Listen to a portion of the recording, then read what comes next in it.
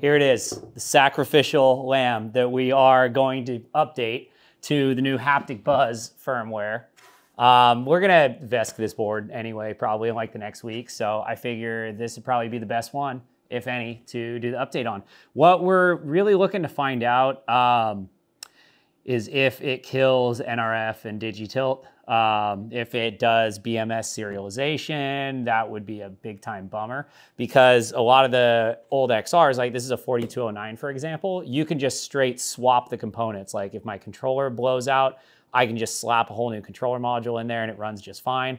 Uh, same with the BMS. It, it, they're not serialized like they are on the 4210 and later XRs and then all the other Onewheel models. So that's why these were great. They're fantastic. They're like super modular, easy to repair yourself. Um, but if this update gets rid of the NRF DigiTilt and introduces serialization, then that'll be a huge bummer for the XR community because uh, it's only a matter of time before these don't have um, support from Future Motion anymore as far as repair and warranty stuff goes. Obviously, warranties are toast on these, but um, just repairs in general because they don't work on the V1 anymore, they don't work on the Plus anymore, and then it's only a matter of time before they stop supporting this guy too. So we wanna make sure that when we update, we're still able to repair it ourselves easily and we'll be good to go. So let's jump into it. Um, we're gonna connect to the board right now and hopefully it updates, it prompts us to update.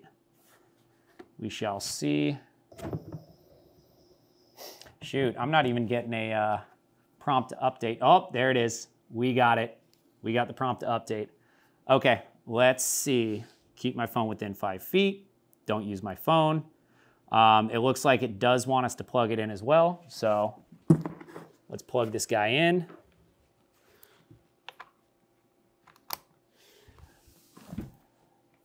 Okay, and here we go, update. Start update. Start update. There we go. Now we wait.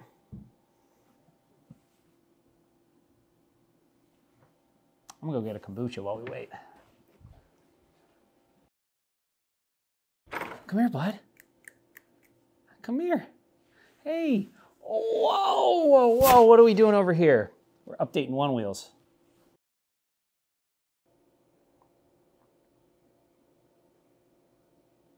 Okay, updates complete. Says our board is ready to ride. Let's see what we got here. So let's go ahead and turn it on. And looks like we're connected almost. There we go. And it works. Cool. Didn't break the board. That is awesome news. But now we got to find out. Can we digi-tilt is NRF completely disabled? Let's find out. Okay, so what we're gonna do is, normally what you do is you just have it perfectly level. You like put it on a milk crate or like, I use a trash can or whatever um, in order to get it perfectly level. What we're gonna do is we're gonna tilt it like this and then calibrate.